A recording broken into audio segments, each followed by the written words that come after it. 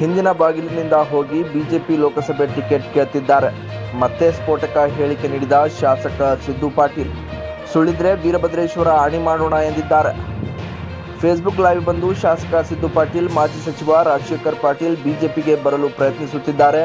ಲೋಕಸಭೆ ticket ಕೇಳ್ತಿದ್ದಾರೆ ಎಂದು ಆರೋಪಿಸಿದರು. ಇದಕ್ಕೆ ನೇರವಾಗಿ ನಮ್ಮ ಜೆಕೆ ನ್ಯೂಸ್ ಕನ್ನಡಕ್ಕೆ ಪ್ರತಿಕ್ರಿಯೆ ನೀಡಿದ ಮಾಜಿ ಸಚಿವ ರಾಜಶೇಖರ್ ಪಾಟೀಲ್, ಸಿದ್ದು ಪಾಟೀಲ್ ಪುರಾವೆ ತೋರಿಸಲಿ. ಸುಖ ಸುಮ್ಮನೆ ಏನಾದರೂ ಹೇಳ್ತಿದ್ದಾರೆ. ಇದು ಸತ್ಯಕ್ಕೆ ದೂರ ಎಂದು ಹೇಳಿದರು. ಮತ್ತೆ ಲೈವ್ ಬಂದ ಸಿದ್ದು ಪಾಟೀಲ್, ಹಿಂದಿನ ಬಾಗಿಲಿನಿಂದ ಹೋಗಿ ಟಿಕೆಟ್ ಕೇಳ್ತಿದ್ದಾರೆ. ಪುರಾವೆ ಹೇಗೆ ಸಿಗುತ್ತೆ? ಈ ಹಿಂದೆಯೂ ಹಲವಾರು ಬಾರಿ ತಾವು ಬಿಜೆಪಿಗೆ ಹೋಗಲು ಯತ್ನಿಸಿದ್ದೀರಿ. ಅದಕ್ಕೆ ನಾನೇ ಪುರಾವೆ ಇದ್ದೀನಿ.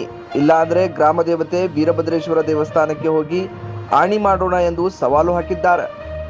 J K news Kannada, Humnabad. ಇದು ಭ್ರಷ್ಟರ ಪಾಲಿಗೆ ಸಿಂಹ ಸ್ವಪ್ನ ಇಲ್ಲಿ ನಿನ್ನೆ ನಾನು ಫೇಸ್ಬುಕ್ನಲ್ಲಿ ಲೈವ್ ಮುಖಾಂತರ ಮಾನ್ಯ ರಾಜಶೇಖರ್ ಪಾಟೀಲ್ ಅವರು ಇನ್ನು ಎರಡ್ ಸಾವಿರದ ಇಪ್ಪತ್ನಾಲ್ಕರ ಒಂದು ಲೋಕಸಭೆ ಚುನಾವಣೆ ನಮ್ಮ ಭಾರತೀಯ ಜನತಾ ಪಕ್ಷದ ಟಿಕೆಟ್ ಕೇಳ್ತಾ ಇದ್ದಾರಂತ ನಾನು ನಿನ್ನೆ ಹೇಳಿದೆ. ಅದನುಗುಣವಾಗಿ ಅವರು ಕೂಡ ನಿನ್ನೆ ಸಾಯಂಕಾಲ ಒಂದು ಫೇಸ್ಬುಕ್ ಮುಖಾಂತರ ಒಂದು ಉತ್ತರ ಏನು ಹೇಳಿದಾರ ಅಂತಂದ್ರೆ ನಾನು ಎಲ್ಲೂ ಕೂಡ ಕೇಳಿಲ್ಲ. ಮತ್ತೆ ಶಾಸಕರ ಹತ್ರ ಏನರ ದಾಖಲೆಗಳಿತ್ತಂತಂದ್ರೆ ಬಿಡುಗಡೆ ಮಾಡಂತ ಮಾನ್ಯ ರಾಜಶೇಖರ್ ಪಾಟೀಲ್ ಅವರೇ, ಈ ಟಿಕೆಟ್ ಕೇಳೋದು ತಾವು ಏನ ಹಿಂದಿನ ಡೋರ್ಲಿಂದ ಹೋಗಿ ಟಿಕೆಟ್ ಕೇಳ್ತಾ ಇದ್ದೀರಿ, ಅದ್ರದ್ದು ಯಾವುದೇ ಪೂರ ಇದು ಸಿಗಲ್ಲ. ಇವತ್ತ ತಮ್ಮ ಜಿಲ್ಲೆಯಲ್ಲಿ ಕಾಂಗ್ರೆಸ್ಸಿನ ಬಹಳಷ್ಟು ಮುಖಂಡರುಗಳೇ ಮನೆ ಮನೆಗೆ ಎದ್ದರು ಇದೇ ಮಾತಿದೆ ಇವತ್ತ. ನನಗೆ ಅನೇಕ ಮುಖಂಡರುಗಳು ಫೋನ್ ಮುಖಾಂತರ ಕೇಳ್ತಾ ಇದ್ರು, ಏನ್ರಿ, ರಾಜಶೇಖರ್ ಪಾಟೀಲ್ ಅವರು ಬಿಜೆಪಿ ಬರ್ತಾ ಇದ್ದಾರ ಅಂತ ಕೇಳಿದಾಗ ನಾನು ನನ್ನ ಗಮನಕ್ಕೆ ಬಂದಿಲ್ಲ, ನನಗರ ಅವ್ರು ಹೇಳಿಲ್ಲ.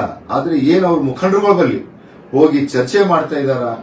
ಮತ್ತೆ ಹೀಗ್ಯಾಕ್ ಮಾಡ್ತಾ ಇದಾರ ಅವರು? ನಮ್ಮ ಕಾಂಗ್ರೆಸ್ ಪಕ್ಷ ಅವರಿಗೆ ಎಷ್ಟೋ ಸರ್ತಿ ಟಿಕೆಟ್ ಕೊಡ್ತು, ಗೆಲ್ಲಿಸ್ತು, ಮಂತ್ರಿ ಮಾಡ್ತು ಬೋರ್ಡ್ ಚೇರ್ಮನ್ ಮಾಡ್ತು.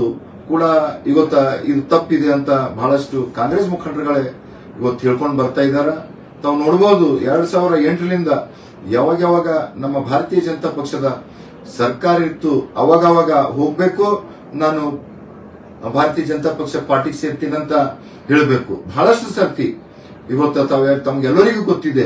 ಎರಡ್ ಸಾವಿರ ಇಪ್ಪತ್ತ್ ಮೂರ ಚುನಾವಣೆ, ಮೊನ್ನೆ ಎಂ ಎಲ್ ಎ ಎಲೆಕ್ಷನ್ದಾಗೂ ಕೂಡ ಇವರು ದಿಲ್ಲಿಗೆ ಹೋಗಿ, ಬೆಂಗಳೂರಿನಲ್ಲಿ ನಮ್ಮ ಮುಖಂಡರುಗಳಿಗೆ ಹೋಗಿ, ಇಲ್ಲ ನಾನು ಭಾರತೀಯ ಜನತಾ ಪಕ್ಷದ ಕ್ಯಾಂಡಿಡೇಟ್ ಆಗ್ತೀನಿ, ನಾನು ಟಿಕೆಟ್ ಕೊಡ್ರಿ ಅಂತ ಕೇಳೋರು, ಆದರೆ ಏನ್ ಇವತ್ತೊಂದು ಸರ್ವೆ ಮಾಡ್ತದ ಭಾರತೀಯ ಜನತಾ ಪಕ್ಷದ ಸರ್ವೆನಲ್ಲಿ ಇವರು ಸೋಲ್ತಾರಂತ ಎದುರಿಸಲ್ಕಿಂದು ಇವರು ಯಾವುದೇ ಮನ್ನಣೆ ಕೊಟ್ಟಿಲ್ಲ.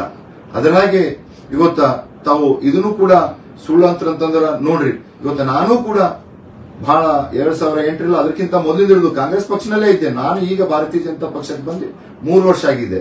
ನಾನು ಎಷ್ಟೋ ಸರ್ತಿ ನಿಮ್ ಸರಿ ಬಿಜೆಪಿ, ನಾನು ಅವಾಗ ಕಾಂಗ್ರೆಸ್ ಇದ್ದಾಗ ಬಿಜೆಪಿ ಮುಖಂಡರುಗಳ ಮನೆಗೆ ಹೋಗಿ ತಾವು ಏನೇನು ಮಾತಾಡಿದ್ರು ನನಗೂ ಗೊತ್ತಿದೆ, ಗೊತ್ತಾ? ಇದನ್ನು ಸುಳ್ಳು ಅಂತೀರ ಅಂತಂದ್ರ, ಇವತ್ತು ನಾವು ನೀವು ಏನು ಪೂಜಿಸುವಂತ ಆರ್ಯ ದೇವರಾದಂತ ಶ್ರೀ ವೀರಭದ್ರೇಶ್ವರ ದೇವಸ್ಥಾನಕ್ಕೆ ಹೋಗೋಣ, ಇಬ್ಬರೂ ಹಾನಿ ಮಾಡೋಣ. ಇದು ಯಾರ ಕರೆ, ಯಾರು ಸುಳ್ಳು ಅಂತ. ಯಾಕಂತಂದ್ರೆ ನಿಮಗ ಮನುಷ್ಯರ ಮ್ಯಾಗ ವಿಶ್ವಾಸ ಇರ್ಲಕ್ಕಿಲ್ಲ. ಆ ದೇವರ ಮ್ಯಾಗ ಮೂರ್ತಿ ಪ್ರಮಾಣ ಮಾಡೋಣ ಗೊತ್ತಾ? ಅದರಾಗೆ ಇನ್ನೊಂದು ಮಾತು ಹೇಳಿದಿರುತ್ತಾವು ತಾವು ಇವತ್ತೇನು ಒಂದು ಟೆಂಡರ್ನಲ್ಲಿ ಬೆಂಗಳೂರದವ್ರು ಪಾರ್ಟಿಸಿಪೇಟ್ ಮಾಡ್ರ?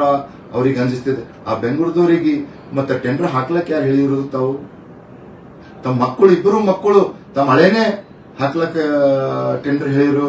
ನಿಮ್ಗೆ ಅಷ್ಟು ಮಕ್ಕಳಿಗೆ ಕೆಲಸ ಮಾಡಿತ್ತಂದ್ರೆ ನಾನೇ ಇಲ್ಲೇ ಬಿಡಿಸ್ಕೊಡ್ತಿದ್ದಲ್ಲ ನಿಮಗೆ? ಟೆಂಡರ್ ಹೇಳಿ ಅವ್ರಿಗೆ ಇದೇನು ಮಾಡೋದಿತ್ತು? ಇದೇನು ನಿಮ್ಮ ಎರಡು ಮಕ್ಕಳದು, ನಿಮ್ಮ ಹಳೆಯದು ಅಪ್ಪಂದದ ಇದು. ಯಾರ ಅಪ್ಪಂದು ಇಲ್ಲ ಇದು? ಇವತ್ತೇನು ಸಂವಿಧಾನದಲ್ಲಿ ಯಾರು ಕೂಡ ಇದು ಮಾಡ್ಕೊಂಡು ಹೋಗ್ಬೋದು. ಅವೆಲ್ಲ ಬಿಟ್ಟು ಇಲ್ಲ ಸಲದ ಇದು ಮಾಡ್ಕೊಳ್ಳಕ ಬಹಳಷ್ಟು ದಿನ ನಡೆಯಲ್ಲ. ಮಾನ್ಯ ಮಾಜಿ ಶಾಸಕರೇ, ಧನ್ಯವಾದ. ಕಂಪನಿಯ ತರತರಹದ ಮಾಡೆಲ್ ಬೈಕ್ ಖರೀದಿಸಲು ಯೋಚಿಸುತ್ತಿದ್ದರೆ ಎಸ್ವಿ ಟಿವಿಎಸ್ ಶೋರೂಮ್ ನಿಮಗಾಗಿ ತರುತ್ತಿದೆ ಹೊಸ ಹೊಸ ಮಾಡೆಲ್ಗಳ ಹೊಸ ಹೊಸ ಬೈಕ್ಗಳು ಟಿವಿಎಸ್ನ ಎಲ್ಲಾ ತರಹದ ಬೈಕ್ಗಳು ಹಾಗೂ ಎಲ್ಲಾ ಬೈಕ್ಗಳ ಸರ್ವಿಸ್ ಹಾಗೂ ಅವುಗಳ ಸ್ಪೇರ್ ಪಾರ್ಟ್ಗಳು ಕೂಡ ಲಭ್ಯ. ಹಾಗಿದ್ರೆ ಹಿಂದೆ ಭೇಟಿ ನೀಡಿ ಎಸ್ವಿ ಟಿವಿಎಸ್ ಶೋರೂಮ್ ಮಾಲೀಕರು Lokesh RJ Bharat petrol bunk ಎದುರುಗಡೆ ನಾಗಲಕ್ಷ್ಮಿ ದಬಾತಿರ ಗುಲ್ಬರ್ಗ ರೋಡ್ ಹುಮ್ನಾಬಾದ್. ನಿಮ್ಮ ಬೈಕ್ ಅನ್ನು ಕಾಯ್ದಿರಿಸಿಕೊಳ್ಳಲು ಇಂದೇ ಸಂಪರ್ಕಿಸಿ. Eight four nine four nine five one double zero nine ಅಥವಾ zero eight four eight three four five nine three two Sangam Electronics and Home Appliances, all types of home appliances are available. And Sri Veerabhadra Complex opposite DCC Bank, Main Road, Humdabad.